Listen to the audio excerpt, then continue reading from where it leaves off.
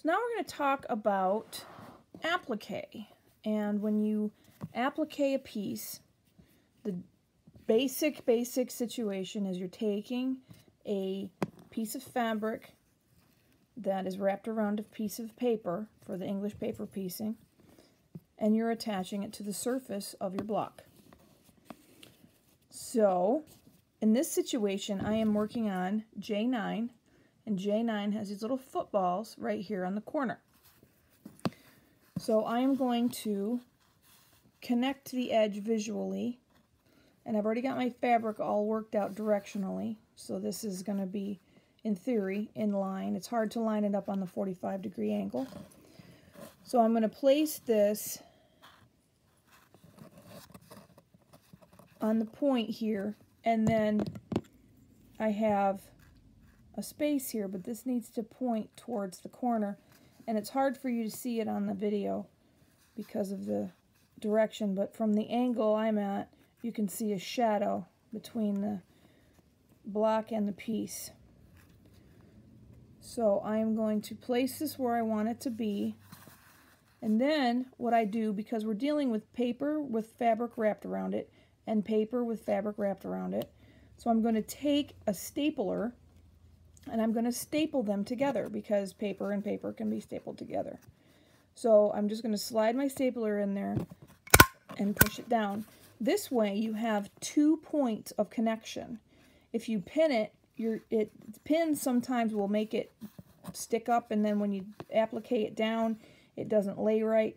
This will keep it flat and then you get two points of connection so it doesn't pivot as much.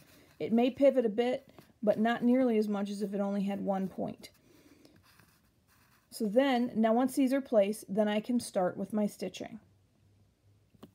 So now that I've got my pieces stapled down, it's time to actually stitch them down. So I'm going to be working from the middle part of this. The first thing I'm going to do, I'm going to start in the middle of this shape somewhere. And I'm going to take my needle and I have to have my knot buried somewhere. So what I'm going to do is I'm going to stitch so that my needle comes out right at the edge and my knot is on the back. So I'm going to pull my needle through somewhere in here and then my knot will be buried. So something to the, to the effect of this. I don't normally do it that way. I'll do it I'll do it like from this way, but that way you can see what I'm doing. So I will pull this through and now my knot is buried. What I'm going to do is I'm going to push this down and see where this goes and I'm going to stitch just on the inside of where that hits. I'm not going to stitch on the outside of it. I'm going to stitch just underneath the actual shape and then come up between. So what I'm doing here is this is my piece and it's hiding my needle, but my needle's just underneath, and then it's coming out through the edge of the shape. So we've got this coming in here, and it coming out through the edge of the shape so that I'm stitching it down just like that. So I've, I've got that coming through. I'm going to pull this through, and I'm going to do this all the way around my shape. This way you're going to hide your stitches. And because the paper's in there, I've got a depth gauge. I have had it once before where I have stitched into the paper, but you can feel the resistance. So you just pull your needle out and try again. Once, and see that right there, I just went through the paper. So I'm going to come back out and get the underside of the fabric and come out right at the edge. And so this, and I'm pulling as I go so that my stitches are pulled tight and they're not loose. I've had it where I didn't pull much and then when I actually wanted to pull it couldn't because it was too big. So and so you can see how this is forming, I hope. You have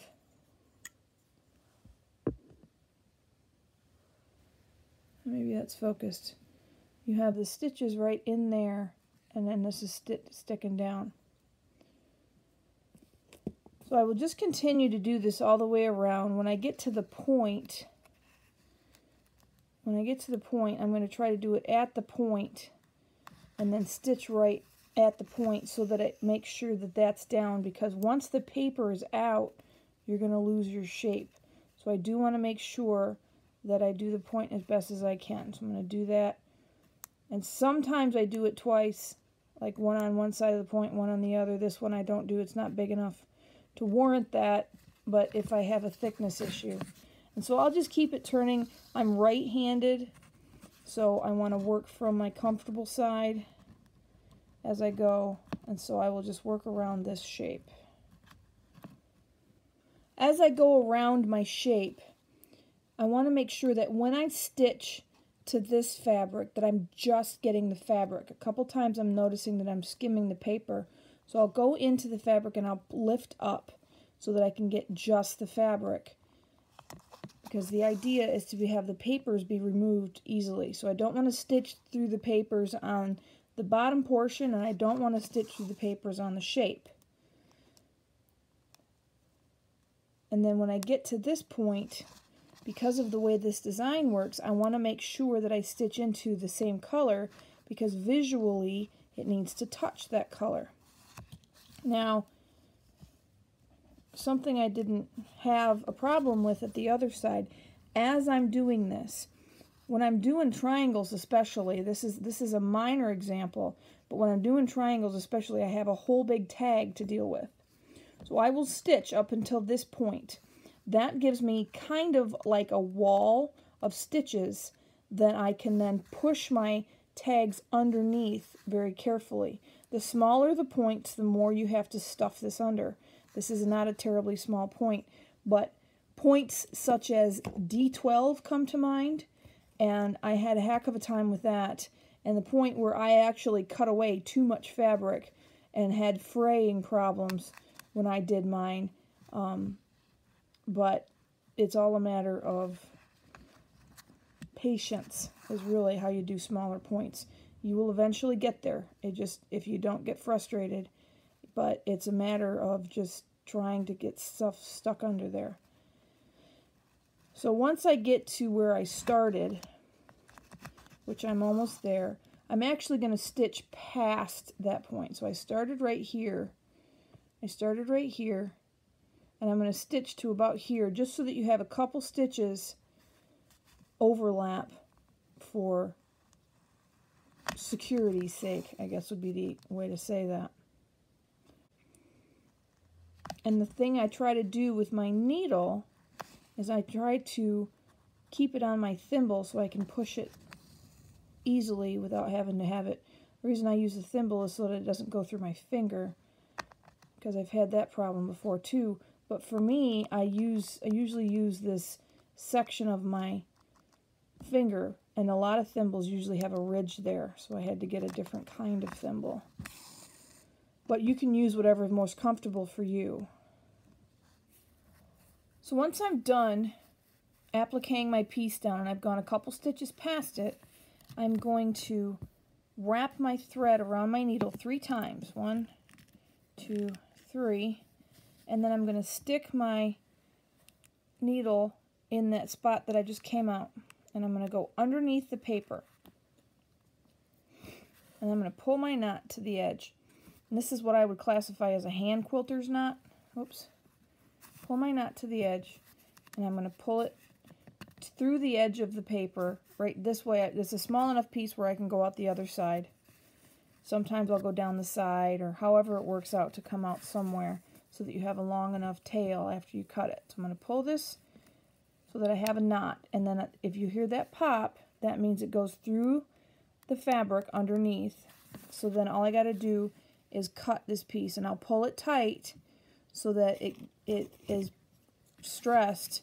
And then when I cut it at the edge without cutting the fabric, because I had pulled it, it springs back underneath and I don't have to worry about the tail that way. Then what I'm going to do is I'm going to take some kind of a staple remover. I use a crappy pair of scissors. This particular pair of scissors can't cut thread. I use it for my tape. And so I'm going to pry up the staples very carefully from the back a lot of time I have the staples on paper.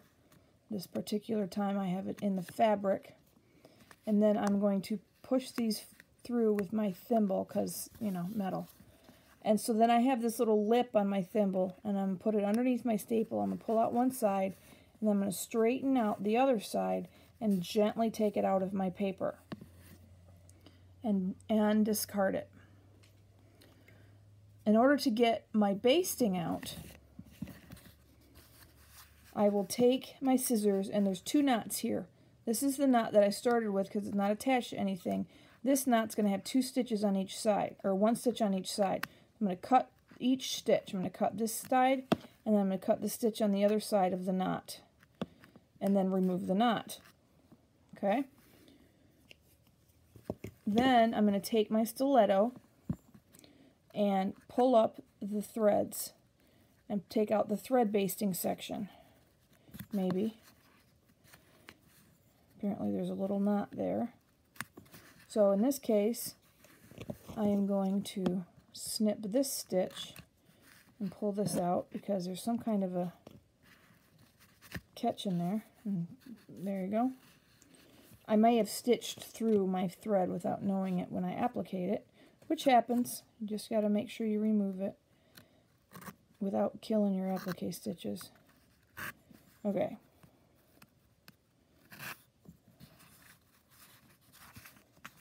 Alright, so I've got all that, and this is my other, most of the time this will pop out because I cut it. Apparently I didn't cut it this time. But then I've got my knot left for my initial, and if I just pull on it, all of my gathering stitches that are underneath there that are being held will let go, and I will be able to take out my entire thread in one pull. And that's how I get out my thread basting, and the only other thing to do, once this is placed in its spot in the quilt, and then I can remove the papers on the back side without cutting the seams. This is going to be an interesting trim job without cutting the seams here. I'm going to have to cut away a seam allowance from here. So I'm going to end up cutting, I'm going to end up cutting on the back, I'm going to cut the fabric in the back here. So when I do this from the back, I'm going to take my papers out and I'm going to have the fabric exposed for these pieces. It's going to show me where the stitches are. And I have some of this in my removing your papers video.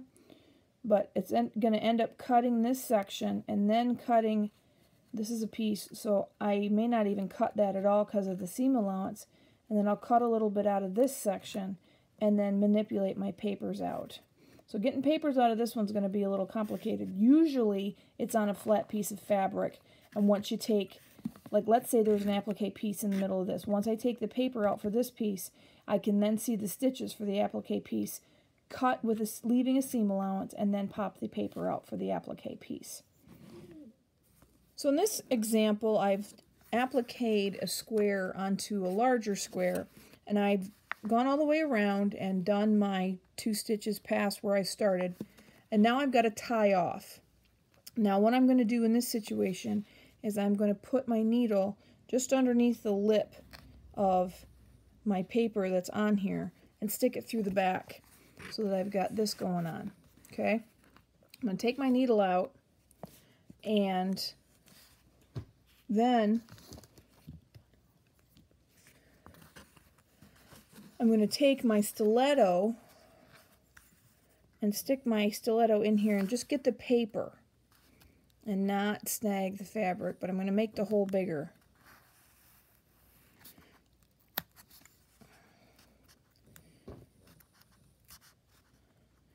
And what I'm going to do is I want to expose the fabric that's underneath my shape. Just enough so that I can tie off on the fabric. Okay, so I got a little hole here. Now I got to find my needle. There's my needle. Way over there. Alright, so now I'm going to do the same thing again and pull my thread through. So I'm going to do this all right, and so I'm going to pull my thread through and make sure that it doesn't show, okay? And then I'm going to tie this off like I would normally tie off on a fabric. I just pick up a little bit of fabric, making sure it's just this background fabric, and to make sure that I'm underneath my shape. And so I'm just going to tie off by making a couple stitches and knotting them up. And then I will trim with the tail. And now it's just a matter of taking out my staples and moving on to the next step.